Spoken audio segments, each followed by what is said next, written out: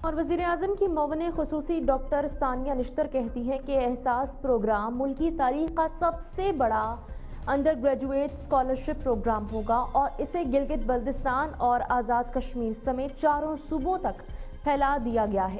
On line portal پر احساس scholarship درخواستوں پر جانچ پڑتال کی گئی۔ ملک کی تمام سرکاری یونیورسٹیوں سے منتخب طلبہ کو احساس اسکالرشپ دی جا رہی ہیں۔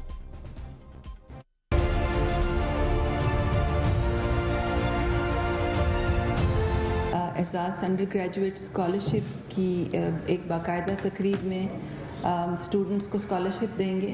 پاکستان کی ہسٹری کی سب سے بڑی need based undergraduate scholarship scheme ہے اس اسکالرشپ اسکیم کا اطلاق تمام پبلک سیکٹر یونیورسٹیز پہ، ایک سو انیس پبلک سیکٹر یونیورسٹیز پہ ہوتا ہے۔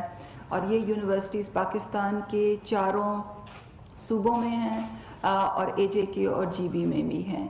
اسکالرشپ اسکیم کے تحت چار سال میں دو طلبہ کو نیڈ اور میرٹ بیس اسکالرشپ دی جائے گی۔ اگلے چار سال کے لیے پچاس ہزار اسکالرشپس دی جائیں گی۔ یہ جو اسکالرشپس ہیں، یہ پچاس فیصد جو ہیں، یہ خواتین کے لیے مختص ہیں۔